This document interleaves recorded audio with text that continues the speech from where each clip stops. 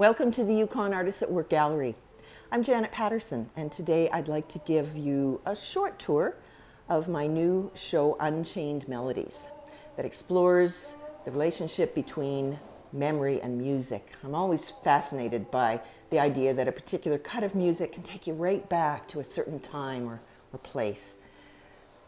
This piece, for instance, I grew up in the 1960s and 70s, and the centennial celebrations in 1967 were a big deal.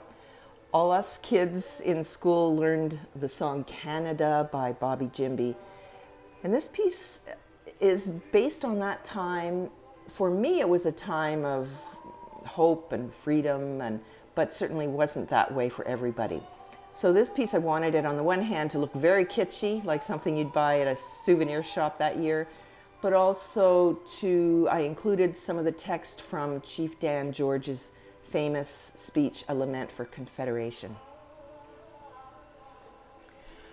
Early one morning, based on uh, the CBC TV children's show, The Friendly Giant. These boots are made for walking, based on Nancy Sinatra's song. I have a clear memory of her performing on The Ed Sullivan Show.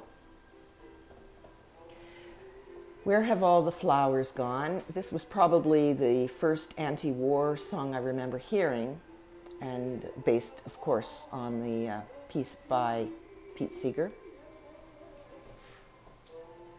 Stairway to Heaven, my grade 12 prom theme. Don't know if you can read that, it says no bribes. And yes, I was one of those people who had posters of Donny Osmond and David Cassidy plastered all over my bedroom wall. This is Puppy Love, based on the Donny version, uh, the Donny Osmond version of that song. Can't show you everything in this show. There's just not time. This one, The House at Pooh Corner, by Kenny Loggins, and it um, it took me back to a time just before I left home for university in Toronto.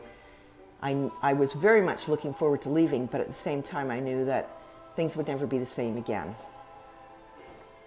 By the way, I have albums of most of these songs, and I invite you to come in and put on an album that speaks to you. This is the title cut, so to speak, of my show. This is Unchained Melody based on the song by the Righteous Brothers. Don't Dream It, Be It from the Rocky Horror Picture Show. It's a lot of fun making those lips.